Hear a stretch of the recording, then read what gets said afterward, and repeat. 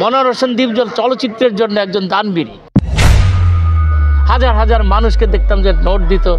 আসলে সে একজন চলচ্চিত্রে মানুষের প্রতি তার খুব আন্তরিকতা থাকে। আমি এই জন্য নিজে নিজেকে দুঃখিত এবং মনময় হতো আমি অনুতপ্ত আমি ক্ষমাপ্রার্থী। আমি আসলে আমাকে এমন বিভ্রান্তকর পরিস্থিতি ফেলেছে। আমি আসলে কথা না জেনে, না বুঝে ওনাকে একটা বক্তব্য বলেছি, আসলে উনি দানবীর। আমি ওনাকে বলছি উনি দানবীর না, উনি মুসাফির।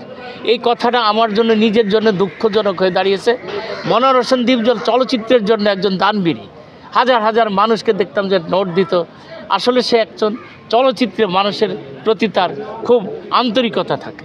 কিন্তু আমি মনোহর হোসেন দীপজলকে যে কথাটি বলেছি, এটা আমার একেবারে বিভ্রান্তকর আমার মানুষ হিসাবে আমি আসলে এই ব্যাপারটা আমি হ্যান্ডেলিং করতে পারিনি। আমি এই জন্য নিজে নিজেকে দুঃখিত এবং মনময় হতো আমি অনুতপ্ত। আমি মনোহর হোসেন দীপজল সাহেবের মতো লোককে এই ধরনের কথাটা বলা আমার পক্ষে আসলে কাছে ক্ষমা প্রার্থী? আমি ক্ষমা প্রার্থী। আমি আরেকবার চাইছি যে আমি আসলে না জেনে না বুঝে না শুনে কথা বলে ফেলেছি। আপনি আমাকে ক্ষমা করে দিবেন। আমি এখনও ক্ষমা চাচ্ছি। এটা কি আপনার ভুল ছিল না স্লিপ অফ টাং আমার এটা ভুল ছিল। এটা আমার যেই সাংবাদিক প্রশ্ন করছে আমাকে আসলে সঠিকভাবে কথা আমাকে কথার পারভাসে ফেলে আমার মুখ থেকে সেই ভাষাগুলা ব্যবহারগুলো নিছে। আমি জাহিদ খানকে ঘৃণা করি বলে দীপজল সাহেব তাকে শেল্টার দেয় বলে আমি কথাটি অন্য বার্সে বলে ফেলেছি।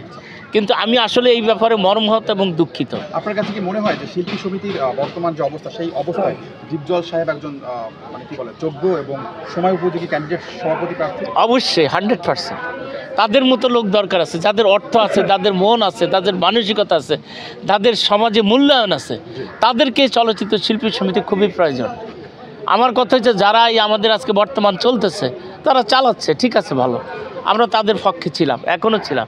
আমাদের যে আসবে, আমরা যে, যাকে আমরা ভালো মনে করব, যোগ্য মনে করব, তাকে আমরা নির্বাচিত করে শিল্পী সমিতির যোগ্য ব্যক্তি হিসাবে আমরা মানদণ্ডে দণ্ডিত করব।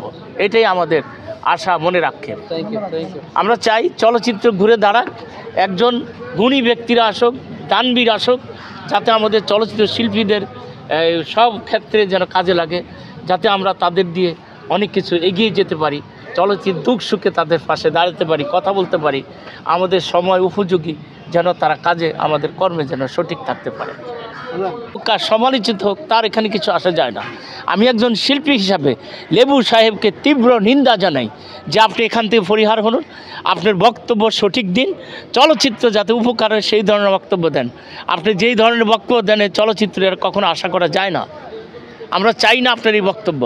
আপনি ছবি বানিয়েছেন, প্রযোজক হয়েছেন, ভালো করেছেন, পরিচালক হয়েছেন, পরিচালকদের উদ্দেশ্য করে কথা বলেছেন, পরিচালকদের অপমান করেছেন, পরিচালক শ্রমিক থেকে আপনি এইভাবে সমাজের কাছে বিবৃতি করেছেন, আমরা এটা আপনার কখনো সাধুবাদ জানাইতে পারি না।